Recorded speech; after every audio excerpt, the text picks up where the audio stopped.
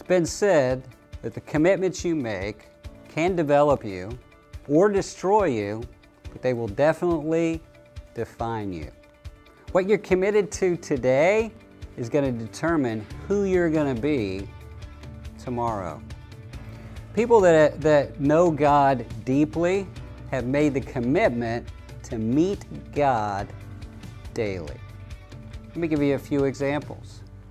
David says in Psalm chapter 5 and verse 3 My voice you shall hear in the morning, O Lord. In the morning I will direct it to you, and I will look up. David's saying, Look, I'm committed to spending time with God every morning. He also said, God, you're my God. Early, I'm going to seek you. I long for you. I thirst for you, as in a dry and weary land. The people that know God deeply are the people that meet with God daily. Think about Jeremiah and all that he went through. And he, he, he lived in one of the hardest times to, to be a Jew. But yet he says, in the midst of all this, when I bring this to mind, I have hope. Though the Lord's mercies were not consumed, by his compassions we fail not. They are new every morning. Great is your faithfulness. The Lord is my portion, he says. Therefore I hope in him. Listen, the Lord is good to those who wait for him, to the soul who seeks him. He's saying, look, you can have hope you can experience God's faithfulness and God's mercies new and fresh every day, but you got to get them. You got to hope in Him. You got to seek Him. You got to spend time with Him. People that know God deeply are the people that spend time with God daily. Think about Jesus. Mark chapter 1 recounts an incredibly busy, draining day in his life but then it says a very interesting thing in Mark 1:35.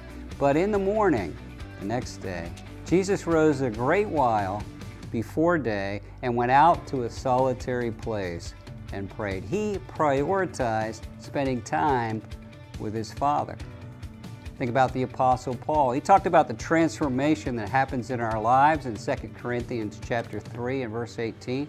And he says, as we spend time with God, we are transformed from glory to glory, little by little, bit by bit, more and more, day after day, we are transformed from glory to glory through His Holy Spirit.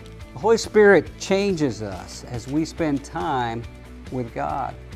I love to read the biographies of, of great, impactful Christian leaders. I wrote a book one time on 75 great Christian leaders and found that they all have one common denominator. They had extraordinary prayer lives. All of them had time that they spent with God every day. Many of them an hour, some of them two hours, some of them more than that. The, the very influential George Mueller fed 10,000 orphans during his lifetime by faith. Uh, had incredible impact in so many lives. He found that, that he would spend an hour in the morning with God and an hour at night with God. When he was 70, he said he had read through the Bible 200 times on his knees. Hudson Taylor, incredibly impactful missionary, reaching the unreached people in inland China the end of his life, there, because of his life, there were 18,000 Chinese Christians where they hadn't been before.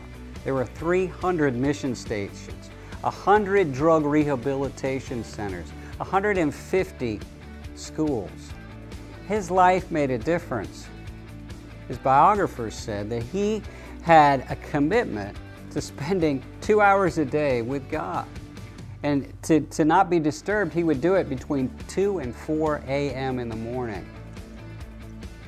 He told his children when he was older, he said, I just finished reading the Bible through 40 times in the last 40 years.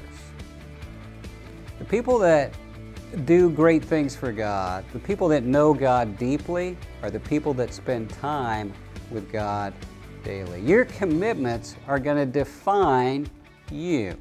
They can either develop you or they can destroy you, depending on what you're committed to. What you're committed to today is going to determine who you're going to be tomorrow. I'm asking you to make a commitment to spend time with God every day. You will never, ever regret it.